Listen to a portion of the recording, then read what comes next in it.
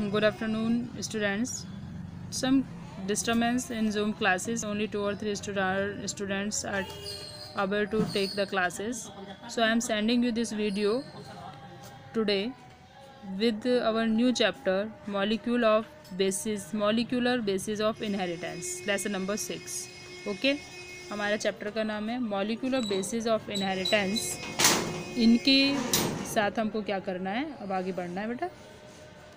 First of all introduction there are two type of nucleic acids deoxyribonucleic acid and और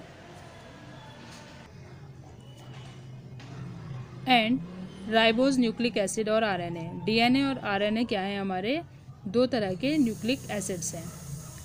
Both occur in living system and can function as genetic material दोनों क्या करते हैं? Living system में present होते हैं और genetic material की तरह से वर्क करते हैं। DNA genetic material in all organism. DNA क्या है? सभी ऑर्गेनिज्म में जेनेटिक मटेरियल का काम करता है। अब जेनेटिक मटेरियल क्या होता है? बेटा, the material which is transfer to new generation from the parent generation is known as genetic material except some viruses लेकिन कुछ वायरसेस में क्या है? ऐसा नहीं होता। Ribovirus are those viruses in which genetic material is RNA जो ribo virus है, उसमें क्या है? आरएनए होता है genetic material on other hand RNA function as a messenger carrying genetic information दूसरी तरफ़ क्या करता है ये? मैसेजेस को कैरी करने का काम करता है. An adapter for picking up amino acid and assembly point means for synthesis of proteins as per information coined by coined in DNA दूसरी तरफ़ क्या करता है? ये असेंबल करता है अमीनो एसिड्स का और इन्फॉर्मेशन को, देता है किसको? डीएनए को. It is also a catalytic molecule in some cases कुछ केसेस में क्या है? ये कैटालिटिक मॉलिक्यूल की तरह भी काम करता है. Structure of a polynucleotide chain ठीक है? पॉलीन्यूक्लियोटाइड चेन जो है, उनकी स्ट्रक्चर्स के बारे में समझते हैं.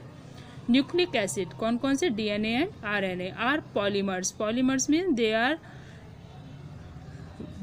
they have multiple chain of nucleotides.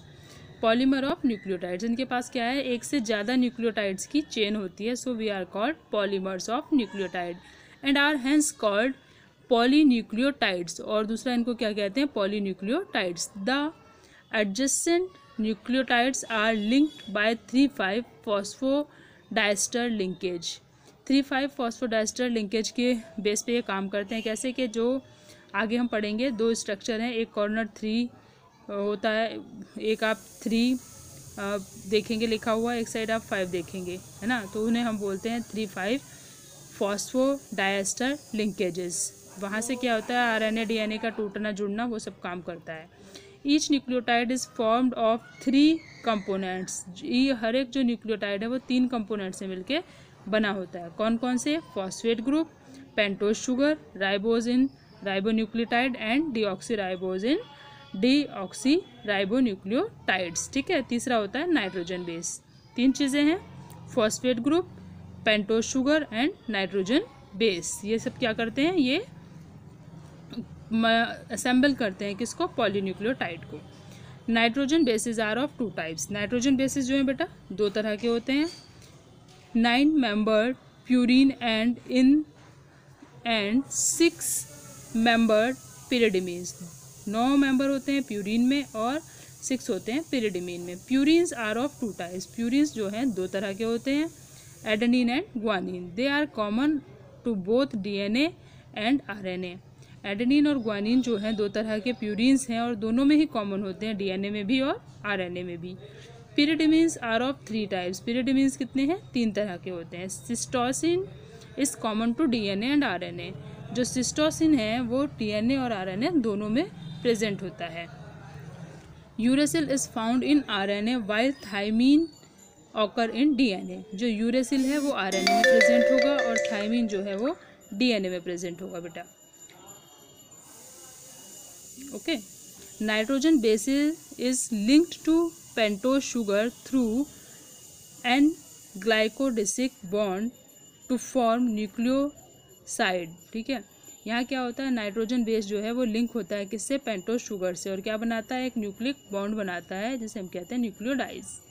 Adenosine और डीऑक्सी डाइनोसिन ग्वानिसिन और डी ऑक्सीनोसिन ठीक है ये? और नेक्स्ट है, सिटिडिन और डी ऑक्सीटाइडिन यूरेडिन और डी ऑक्सीथाइमिडीन ये सब क्या है? इनके दो दो नाम हैं। ये सब कैसे बनते हैं? नाइट्रोजन बेसिस से बनते हैं।